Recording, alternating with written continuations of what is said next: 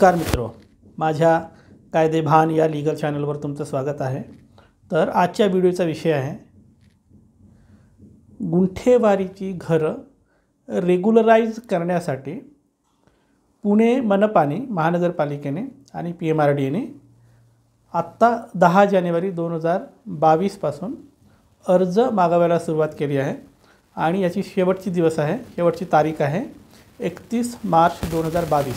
ज्या कोणाची घरं बेकायदेशीरपणे बांधल्या गेली आहेत किंवा ज्यांनी बेकायदेशीर प्लॉट घेतले आहेत आणि अशी घरं गुंठेवारी कायद्याच्या नियमाप्रमाणे रेग्युलराईज करण्यासाठी जी काही अटी व शर्ती दिली आहेत त्या शर्तीनुसार त्या रेग्युलराईज केल्या जाऊ शकत असतील कायदेशीर केल्या जाऊ शकत असतील तर त्याच्यासाठी हे अर्ज मागवणं चालू झाले आहे. सेम गोष्ट प्लॉटसाठी पण आहे. ज्यांचे कोणाचे प्लॉट या गुंठेवारी कायद्याच्या अटी शर्तीप्रमाणे रेग्युलराईज करण्याच्या अटी शर्तीची पूर्तता करत असतील अशा सगळ्या प्लॉट्सची गुंठेवारीच्या कायद्यानुसार ते सगळे प्लॉट्स रेग्युलराईज केल्या जाणार आहेत. म्हणजेच कायदेशीर किंवा नियमित केल्या जाणार आहेत. पण याच्यासाठी तुम्हाला डेडलाईन आहे एकतीस मार्च दोन हजार बावीस. या तारखेच्या आत तुम्हाला तुमची सगळी अर्ज दाखल करायची आहेत.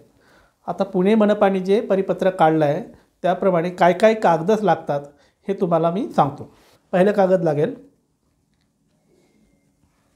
सहा महिन्याच्या आतील सात बारा. दुसरे कागद लागेल. सात बारा नसल्यास इंडेक्स टू किंवा खरेदी खत किंवा साठे खत करारनामा यापैकी काही असेल तरी चालतं. तिसरं डॉक्युमेंट आत्ता जे मी वर सांगितलं त्यापैकी कुठलंच डॉक्युमेंट नसेल तर मग वीज बिल मिळकत कर रेशन कार्ड टेलिफोन बिल यापैकी कुठलीही एक बिल तुमच्याकडे असेल तर ते चालू शकतं. नेक्स्ट डॉक्युमेंट आहे एकतीस डिसेंबर दोन हजार वीसच्या आधी तुमचं बांधकाम झालं याची तुमच्याकडे पावती किंवा त्याचं कागद प्रमाणपत्र यापैकी काहीतरी तुम्हाला लागेल. नेक्स्ट डॉक्युमेंट स्ट्रक्चरल इंजिनियरकडून स्ट्रक्चर स्ट्रक्चर स्टॅबिलिटी सर्टिफिकेट म्हणजे स्ट्रक्चर स्टॅबिलिटी दाखला हा तुम्हाला मान्यताप्राप्त इंजिनियरकडून घ्यावा लागेल. नेक्स्ट डॉक्युमेंट आहे एकतीस डिसेंबर दोन हजार वीसच्या आधीचं गुगल मॅप आणि आत्ता प्रकरण दाखल करताना गुगल मॅप हे दोन्ही तुम्हाला काढून तुम्हाला या तुमच्या अर्जासोबत लावावं लागतील. आणि नेक्स्ट डॉक्युमेंट आहे जर तुम्हाला अवेलेबल असेल तर भूमी अभिलेख विभागाचा मोजणी नकाशा किंवा प्रायव्हेटचा पण मोजणी निकाश नकाशा असेल तर चालेल. हे ऑप्शनल आहे असेल तर हे नक्की लावा. त्याचसोबत इमारतीचा plan cross section elevation site plan location plan खिडक्या व दरवाजे याचा तक्ता व इतर सर्व माहिती नकाशात दर्शविणे आवश्यक आहे. हे सगळं तुम्हाला अर्जासोबत लावावं लागेल. इमारतीच्या उंचीबद्दलचा एक दाखला एलिव्हेशन सर्टिफिकेट ते तुम्हाला या अर्जासोबत लावावं लागेल. जागेवरील बांधकामाची स्थिती व्याप्ती किती मजली आहे हे दर्शविणारा तारखेसकटचा फोटो हे सगळं तुम्हाला अर्जासोबत लावणे आवश्यक आहे. एवढं सगळं करून तुम्ही आपला अर्ज दाखल करू शकता. आणि या सगळ्या गोष्टी जर नियमात बसणाऱ्या असतील किंवा नियमानुसार असतील तर तुमचं बांधकाम तुमचं घर हे गुंठेवारी कायद्याप्रमाणे रेग्युलराईज करून मिळेल नियमितीकरण करून मिळेल. आता या व्हिडिओतला सगळ्यात महत्त्वाचा भाग आहे की कुठली प्रकरणं गुंठेवारी कायद्याच्या अंतर्गत अजिबात रेग्युलराईज केल्या जाऊ शकत नाही. याबद्दलची स्पष्टता तुम्हाला असायला पाहिजे म्हणून त्याबद्दलची माहिती देतो. आता मी जी खालची सांगणार आहोत त्यातलं कुठलंही असेल तर तुमचं घर तुमची बिल्डिंग तुमची इमारत रेग्युलराईज होणार नाही. तुमचं अर्ज रिजेक्ट होईल. कुठली अर्ज रिजेक्ट होतील ते तुम्ही बघून घ्या. रेड झोनची जर तुमची जागा असेल तर तुमचा अर्ज रिजेक्ट होईल. बी डी पी झोनमध्ये असेल तर रिजेक्ट होईल. हिल टॉप हिल स्लोप असेल तर रिजेक्ट होईल. ग्रीन झोनची जागा असेल तर तुमचा अर्ज रिजेक्ट होईल. शेती झोन शेती ना विकास झोनमध्ये असेल तर तुमचा अर्ज रिजेक्ट होईल. आरक्षणमधील जर जागा असेल तर तुमचा अर्ज रिजेक्ट होईल.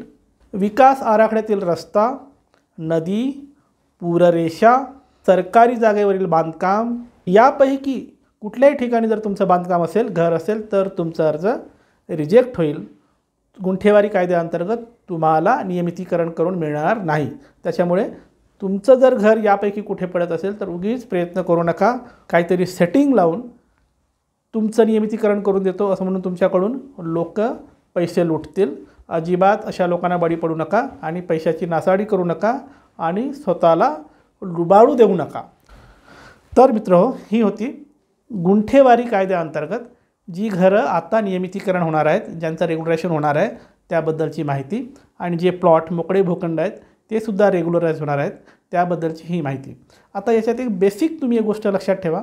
खूप लोकांचं कन्फ्युजन होईल की गुंठेवारी आणि तुकडाबंदी याच्यामध्ये खूप लोकांना कन्फ्युजन असतं. कारण मला फोन करतात तेव्हा त्यांना ते कळत नाही की हे दोन काय भानगडी आहेत. मी हा जो व्हिडिओ बनवतो आहे हा त्या मिळकतीसाठी आहे त्या प्रॉपर्टीसाठी आहेत जे बेकायदेशीर बांधकाम केले गेलेत आणि गुंठेवारी कायद्याच्या अंतर्गत ते कायदेशीर केल्या जाऊ शकतील अशा घराबद्दलचा हा व्हिडिओ आहे. हा व्हिडिओ म्हणजे तुकडेबंदी कायद्यातून सूट देणारा व्हिडिओ नाही किंवा या व्हिडिओचा तुकडेबंदी कायद्याशी काही संबंध नाही किंवा तुकडेबंदी कायद्यात अजून कुठलीही शिथिलता आलेली नाही. तो तसाच लागू आहे. त्याचा आणि गुंठेवारीचा इथे काहीही संबंध नाही. तुम्ही कन्फ्यूज होऊ नका. हा व्हिडिओ बघून तुकडेबंदीशी संबंध जोडू नका. तुकडेबंदीचा इथे काहीही संबंध नाही. तुकडेबंदीचे ज्या काही तरतुदी आहेत त्या आजही या घडीला जशाच्या तशा लागू आहेत. त्याच्याबद्दल काही अपडेट जेव्हा येतील तेव्हा मी व्हिडिओ बनवेन. पण आत्ता मात्र तुकडेबंदी तसाच आहे. कन्फ्यूज होऊ नका म्हणून हे शेवटचं सांगणं आहे. तर मित्र तुमच्यासाठी असंच मी कायद्याशी संबंधित वेगवेगळे व्हिडिओ आणत राहीन. कायद्याचं ज्ञान वाढवण्यासाठी माझं लिगल चॅनल कायदेभान पाहत राहा. आणि हो ज्यांना कायदेशीर सल्ल्यासाठी मला फोन करायचा आहे किंवा संपर्क करायचा आहे ते मला करू शकतात. माझा नंबर तुमच्या स्क्रीनवर दिसतो आहे पण प्लीज फोन करू नका. संपर्क म्हणजे तुम्ही व्हॉट्सॲपवर अपॉइंटमेंटसाठी मेसेज टाका. त्यानुसार तुम्हाला अपॉइंटमेंट दिल्या जाईल आणि तुम्हाला जो कायदेशीर सल्ला आहे तो दिला जाईल. त्याबद्दल अधिक माहिती खाली डिस्क्रिप्शन बॉक्समध्ये दिलेली आहे. ती जाऊन वाचा. त्यानुसार तुम्ही संपर्क करा. बाय.